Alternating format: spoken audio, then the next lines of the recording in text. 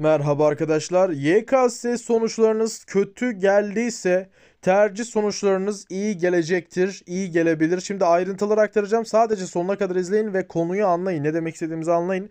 Abone olup videoyu da beğenmeyi unutmayınız. Link açıklamada bizlere hemen ulaşın. Sizlere tercihinizle alakalı çok önemli analizleri e, yaparak tercih sonucunuzla alakalı bilgi veriyoruz. Şimdi konumuza geçelim arkadaşlar.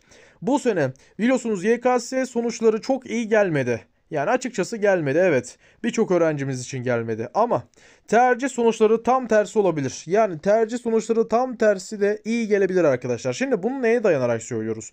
Birincisi bakın bütün bölümler için yani işte sınava örnek veriyorum. Şu an tam olarak kaç milyon kişi girdi bilmiyorum ama 2,5 milyon kişi girirse 2,5 milyon kişinin de sıralaması e, tercih sonuçları iyi gelecek demiyorum.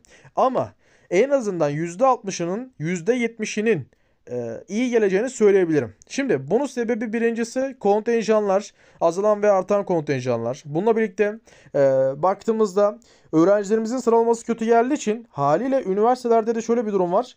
E, ne olacak bu sefer? Üniversitelerin de sıralaması kötü gelecek. Yani şunu söyleyebilirim. Ee, öğrenci 50 bin beklerken 60 bin yapmış normalde 50 bin yapması gerekiyor. E, bu üniversite birazcık daha gerileyecek. Bunun sebebi hem kontenjandan hem de öğrencilerin çoğunun sıralamasının kötü olmasından. Yani e, bir puanlarda düşüş olmasından açıkçası. Bununla birlikte e, şunu söyleyebilirim ki sizlere.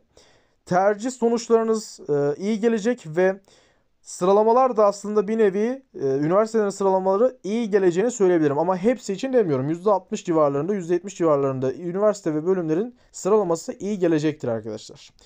Sizlere aktaracaklarım bu kadar. Yeni e, videolarımız gelecek tabii ki. 8 dakikalık uzun videolar vesaire. Analizlerimizi yapmaya devam ediyoruz. Kendinize iyi bakın. Görüşürüz.